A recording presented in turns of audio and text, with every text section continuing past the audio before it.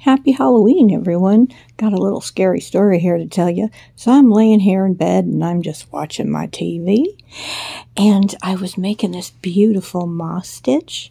And it's going to be a wonderful shawl. Um, I'm sorry, a scarf. And I was using my pretty yarn. And I heard outside the window somebody make a noise. So I peeked out. I'm on the second floor and it was some kids out there. So I just thought, oh, well, whatever. And I went into the bathroom. So I go into the bathroom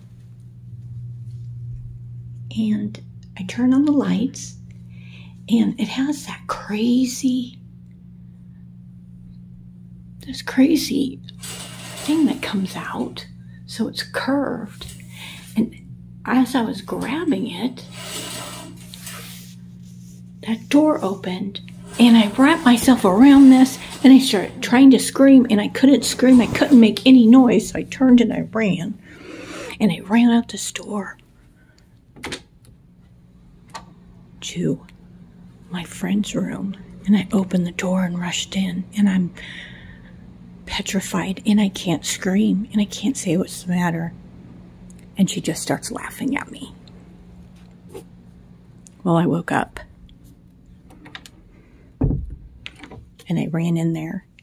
She was making breakfast, and I told her what had happened. She started laughing. She said I was silly.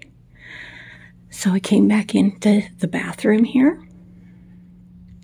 and I turned on the light, and I said, Are there any ghosts in here? And the door right there, which is walk-in closet, moved a little bit. It don't it will not stay closed.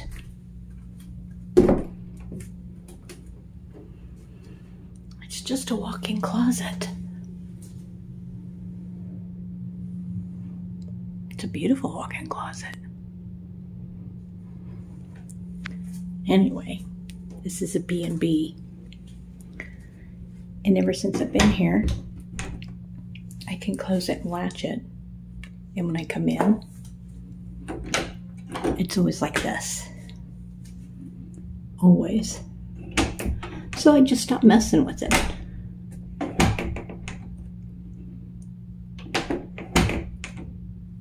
Because I figured it's not latching correctly or something, so I'm not going to mess with it. But I just had to tell you this little scary story that happened to me when I asked if there was a ghost in here.